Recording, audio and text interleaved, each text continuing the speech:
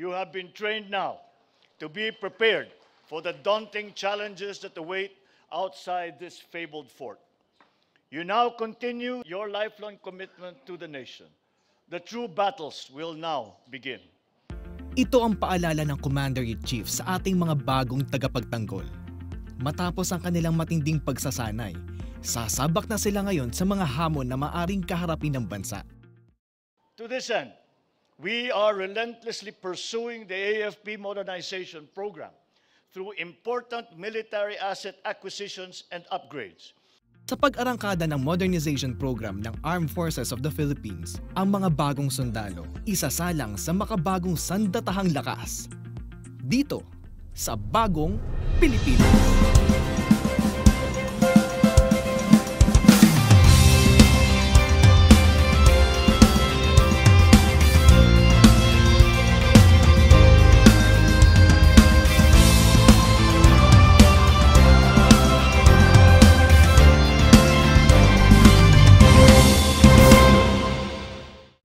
Alinsunod sa layuning gawing moderno ang ating hukbong sandatahan tungo sa antas kung saan mas mabisa nilang magagampanan ang kanilang sunumpaang tungkulin sa bansa. Nahahati ang modernization program sa tatlong yugto. Ang Horizon 1, 2 and 3 na pinatutupad kada limang taon mula 2013 hanggang 2028. The uh, AFP modernization program were based in two uh, Republic Acts, uh, Republic Act 7898 and Republic Act 10349.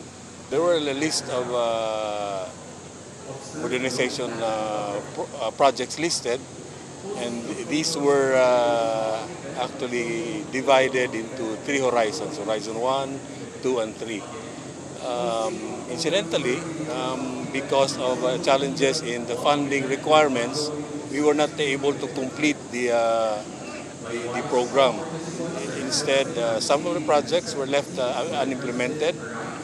And uh, because of this, uh, nagkaroon na tayo ng, ng uh, uh, delay sa ating pag-implement and some were overtaken by events. We came up with a revised list, uh, making sure that the uh, needs uh, for us to have a credible defense posture.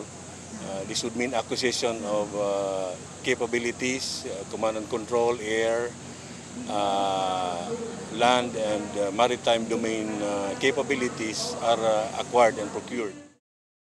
Kahit pa man hindi pa nakokompleto ang mga target sa Horizon 1 and 2, ramdam naman sa hanay ng mga kasundaluhan ang mga pagbabago na nasimulan sa ilalim ng modernization. Sa himpapawid, handang-handa ang Philippine Air Force na labanan ang anumang aerial attacks dahil sa wakas ay natanggap na nito ang inaasam-asam na ground-based air defense system na may kakayang protektahan ang mga kritikal na ari-arian ng pamahalaan at ng bansa laban sa mga panghihimasok sa himpapawid. Sa ilalim ng Horizon 2, nakabili rin ang Air Force ng ilang units ng C-295 na malaki ang ginagampanan sa pagbibigay ng airlift support sa oras ng mga sakuna at kalamidad.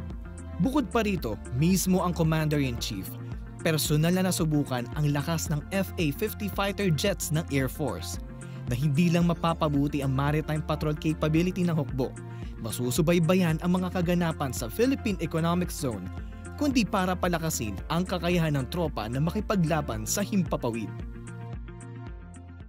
Ang commitment po ng Philippine Air Force ay patuloy po kami sa pagsuporta sa mga pangangailangan ng ating mga kababayan. Kaya kami po ay nagpapasalamat sa ating uh, gobyerno sa patuloy din nilang pagsuporta sa Philippine Air Force lalo na sa ating mga modernization projects. Nitong Abril, nasaksihan ng bansa ang pinakamalaking balikatan exercises sa pagitan ng Philippines at United States Military Forces, kung saan mahigit 17,600 Filipino and American soldiers ang lumahok para pagtibayin ang kanilang pinagsamang kakayahan pagdating sa maritime security, kontra-terorismo at iba pang operasyon. Sa naganap na pagsasanay, natunghayan ng Combined Joint Live Fire Exercise sa hanay ng AFP at US military na siyang culminating activities ay katatlongputwalong balikatan. The culmination of this combined joint live fire exercise really encompasses the cementing of the bond and the relationship between the U.S. and the Filipino uh, country. Uh, it really does state to the fact that shoulder to shoulder is a term, but in reality, it's the way that we live and the way that the family between the Filipino forces and the U.S. forces continue to foster and build upon uh, every time we have the opportunity to come out here and train with, uh, with the Filipinos. Bukod sa pinakita nito ang pinagtibay na pagsasama ng dalawang hanay, sumasalamin ito sa kasanayan ng ating hukbong sandatahan sa mga makabagong teknolohiyang ginagamit sa military operations. Lalo't higit ang kanilang kakayahan na makipagsabayan sa ibang bansa. every time we do this, uh, it introduces something new. And uh, at the same time, it also inspires confidence on both sides that uh, since we are able to train together, we are, we are learning how to work together for that um, eventual time when we may have to fight together. The reason why we're doing this is so as to get to that uh, level of proficiency in order for the AFP to execute its mandate. Uh, that's the reason we have to train on a constant basis because our commitment is to defend the country with our lives. Matapos ang balikatan, patuloy na nagpahayag ng suporta ang Amerika sa modernization ng AFP. Sa katunayan, sa unang visit ng Pangulo sa Estados Unidos nitong buwan ng Mayo, naglabas ang White House ng fact sheet kung saan nakalahad ang plano nitong ilipat sa AFP ang ilan sa mga sasakyang pangmilitar.